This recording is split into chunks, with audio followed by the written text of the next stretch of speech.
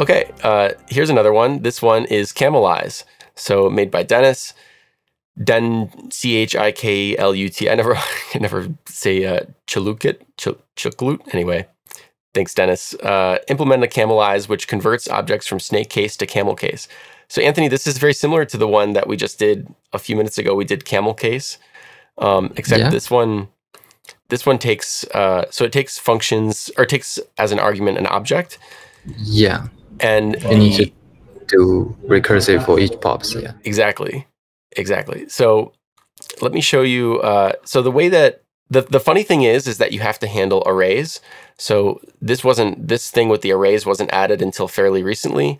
So some of the solutions online don't handle this case. It's a little simpler with you don't have to think about arrays.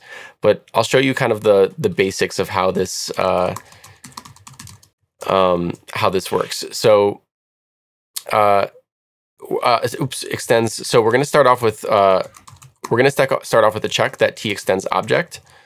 Um, if it doesn't extend object, that's the base case of recursion. It's just a value, so like string or something else, and we can just return t. But if it is, uh, oops, if it is, then we can, oops, we can come over here and we make our basic, uh, our basic mapping and TK. Okay.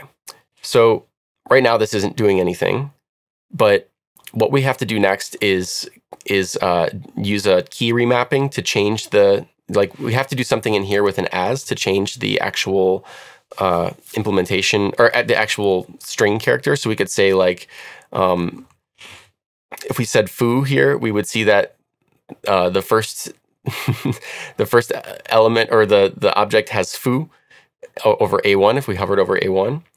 Um, but so that's how we can actually modify the, the, the case names. So we're going to pass in camel case here, camel case with K. And uh, so if anyone wants to see camel case, we just did it in a previous challenge. I'm going to paste it below here. Um, again, we're not cheating. Go look at the you know camel case challenge and you can see how this implementation works but that's camel casing. So we did it for for that one, um, but we haven't handled arrays. So we need to look at the value of, of this thing here, and we're going to say uh, if it extends unknown array, then we're going to have, uh, you know, um, we're going to make a camelize array function. And here we can pass in this particular value, so tk. And otherwise, we're just gonna, it's an object. Um, and if it's an object, then we can just continue recursing. Are you with me so far? Yep. Cool. So then uh, let's put it up here. If we have camelize array of t, we're going to take t and spread it out like we do. Um, I should make a, a snippet for this because we end up in the challenges writing this exact thing a lot. The base case of recursion is just t. So where we recurse is here.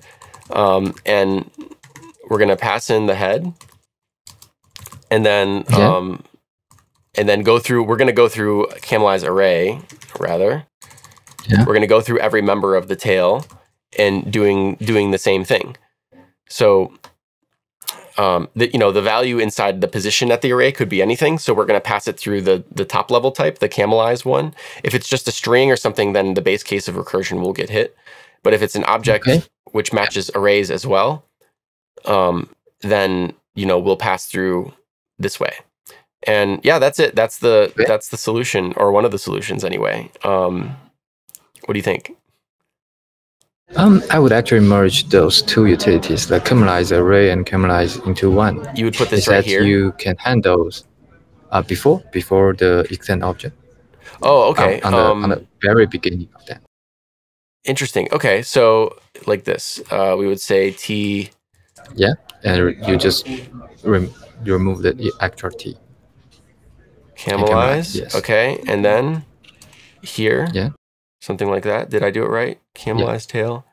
A rest element must be an array type. Oh, um,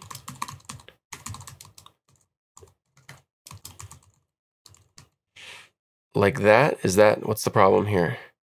rest element must be an array type. Um, oh, well, um, Oh, see. yeah, because if camelized is just a particular one value, then Is that is that possible? You use uh, s, or if you if it's you not use s, possible the, to the type cast. lost. here. There, I do know. I do actually know. Okay, let me, let me try it. I do actually know one like super hack, um, in um, unknown array. What's the error here? Did I spell it wrong? Oops. No, I spelled it right. Okay, It's working. so that is one, and the tests do pass, and we're we're passing without this camelize Uh, array. yeah, you you also need to change the yeah the, the latest. Oh, oh, um, I just remove remove the the condition. right, right, right. We can just do this. Yes. Mm-hmm. So it actually works. Yeah, it seems like it does work. Um, or TypeScript crashed, one of the two. Uh, oh no, it doesn't. Yeah. Array any. So It interesting. The tests. Okay. Let me restart restart TypeScript server, and we'll see. I think Okay. we crashed the TypeScript. well, we crashed TypeScript. That's okay. Um, No, okay, it's any. it's any. All right, so it doesn't work, but that's okay. Uh, let me show you. I have a couple others I can show you. Um, Okay. Yeah, then it makes sense. You have another utilities. Yep. Um, most of them I think do, but this one doesn't. This one doesn't use any other utility, so maybe this is similar to what you're expecting. So this does the camelize word, so this we don't need to think about this, but we're we're handling the case here first. Um, Oh, it, it actually added a, guard, so it's fine. It's adding an actual guard. oh so yeah, right there instead of just. it Mm, passing an array, you it returns array. mm-hmm. Yep, that's how you Yeah. fix it. Okay, fine. Yep, good good point. And then we have we're seeing here if it extends. I think this would also work uh, if we said extends object. Um, I don't know what the problem here Yeah, is. That's exactly the same. Um, oh, because it has to go deeper. Okay. Well, anyway, and uh, yeah, this is casting the k to a string. Um, so this is by Yingsung Meta, the create. I think was he the creator of this challenge, or was the last one we looked at? Um, and then there's also one more that's uh, very similar but a little different. We're doing the same guard up here. So both of these use the approach that you found most natural. And then here they're checking to see if it extends object. If it's if it does, uh, Yeah. then they can pass. Then you you know recurse. If not, then you just pass the value. Um, and here's the key remapping. Yeah. So pretty interesting. Um, yeah, that's funny. The the two so the two ones that I found do it the way that you would have done it. So that's kind of cool. Um, are you happy with this one? Yeah, great.